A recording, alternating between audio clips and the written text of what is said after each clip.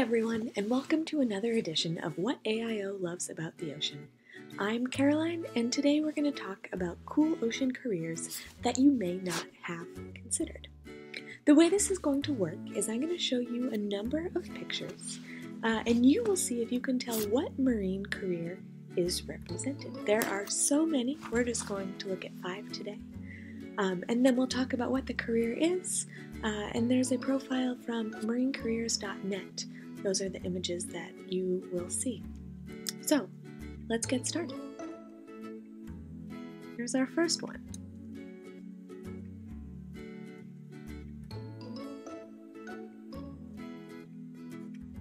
Did you get it?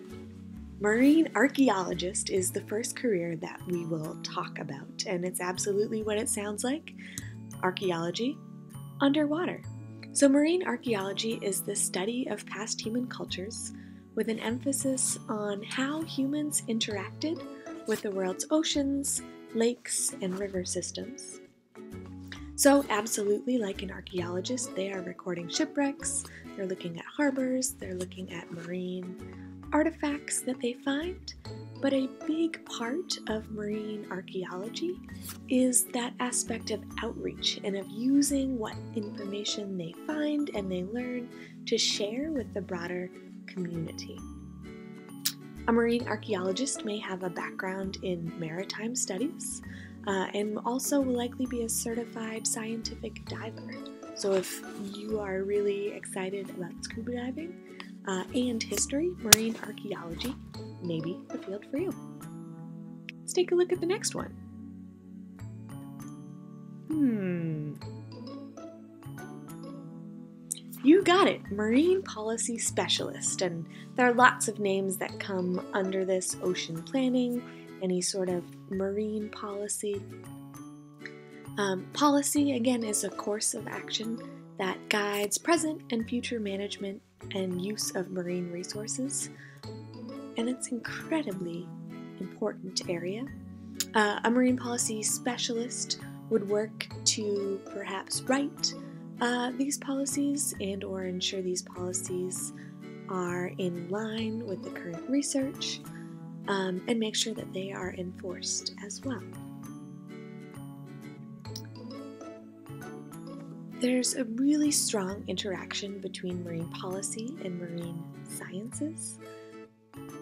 And it's really important that a marine policy specialist has a strong background in marine science because it's really important that good policy is based on accurate scientific information.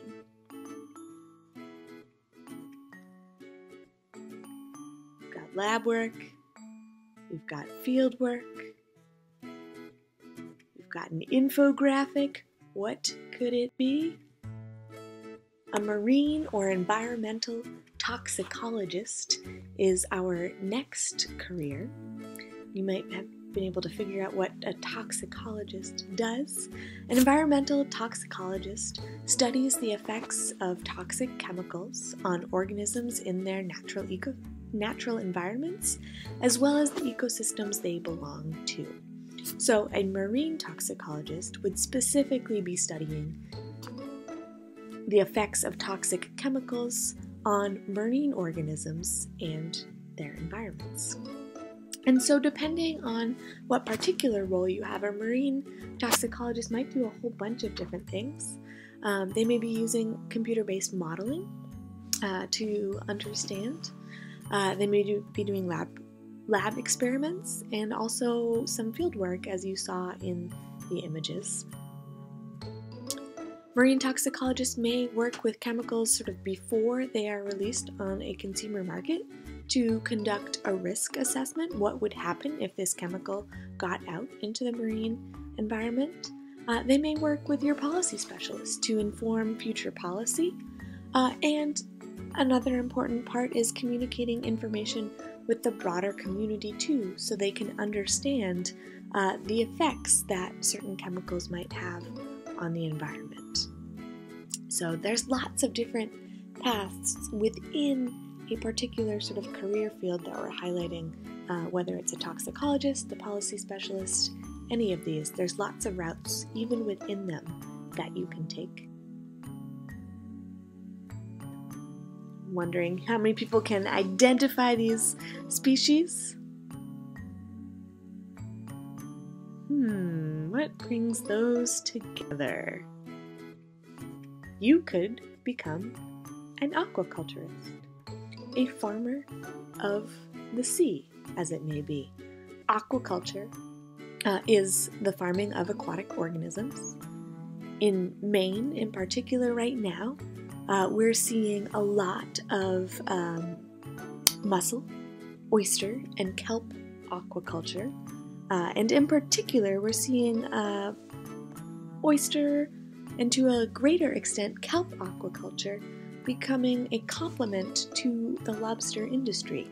So, folks will lobster through the summer, uh, and something like kelp does most of its growing in the winter.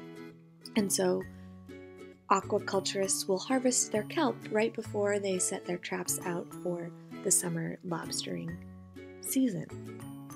Now, you could be interested in this, but not want to be the actual sort of farmer, the person growing these things. So, related fields around aquaculture, and I'm sure that we'll be seeing a lot more pop up in this arena, um, are aquaculture geneticists, uh, economists that are focused on aquaculture and what the future there might look like.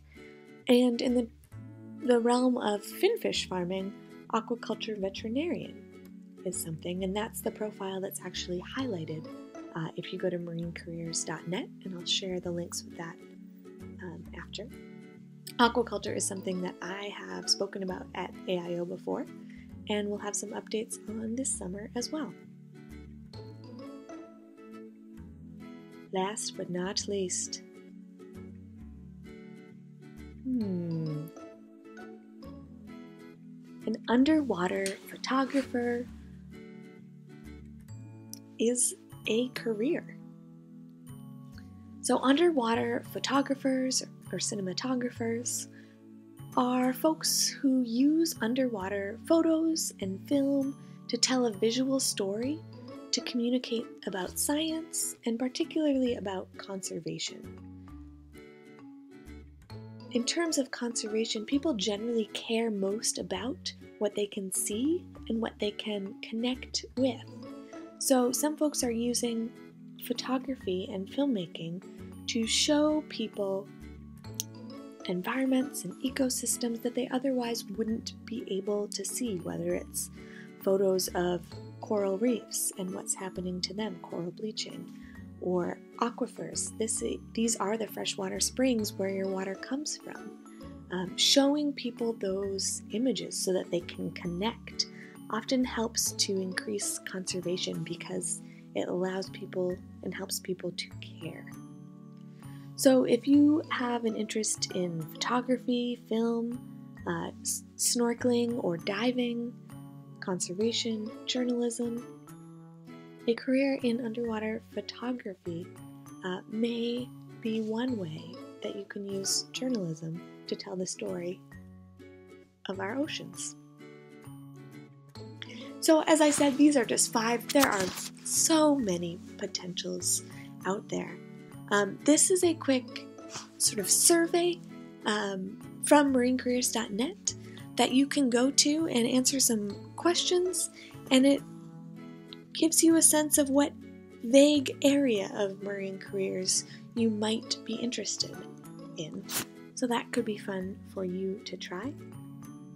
Uh, here's the links to the profiles of the scientists. MarineCareers.net does a great job of highlighting uh, the careers, um, pathways that these scientists got to those careers, potential pros and cons of the careers, and what the outlook looks like. So I would really encourage you to take a look. Uh, thanks also for our other images here.